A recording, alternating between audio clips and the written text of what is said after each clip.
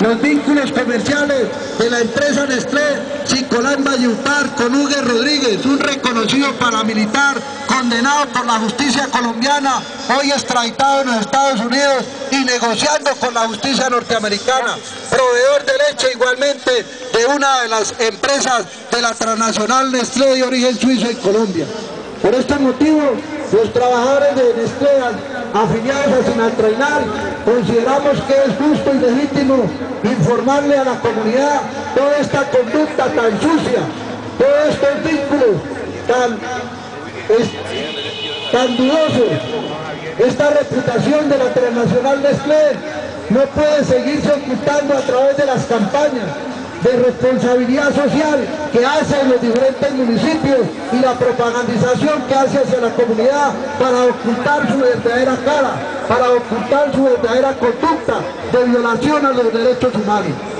Nestlé, una empresa que se ha caracterizado en el país por quebrar a sectores como las productores de leche, a quienes les paga como le da la gana el litro de leche en cada una de las regiones a quienes a los pequeños productores de leche en el país obliga a montar tanques de enfriamiento y almacenamiento.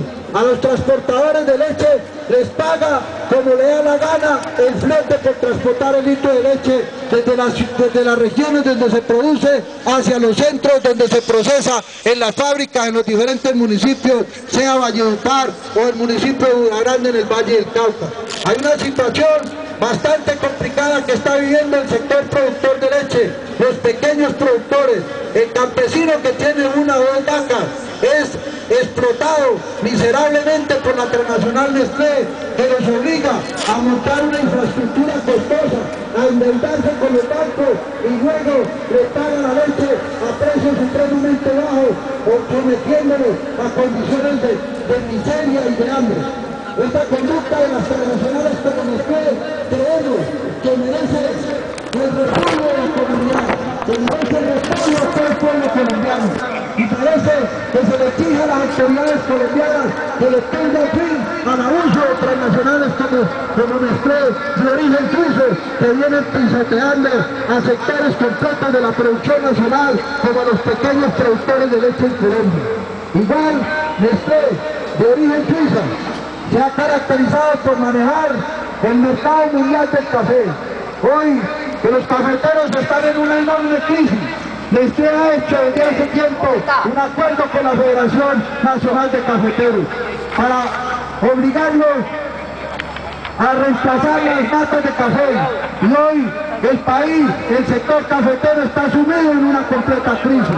Nestlé controla el mercado, importa miles de toneladas de, café al país. Nestlé se apropia del mejor café y para el consumo interno, para el mercado colombiano, procesa la pasilla, la basura, la cáscara, que es lo que le da a los colombianos para que tomen diariamente.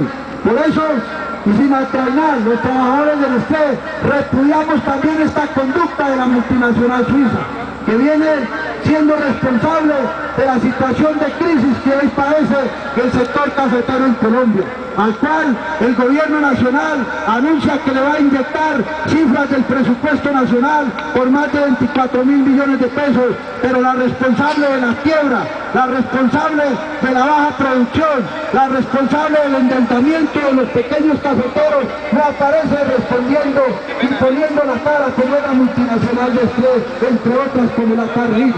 Por esto, sin ningún acto de soberanía alimentaria, de seguridad alimentaria, denuncia públicamente esta conducta de la transnacional de Nuestra lucha de los trabajadores afiliados en Sinaltrainal, que elaboramos para Nestlé, no es simplemente por un salario, no es solo por la estabilidad laboral.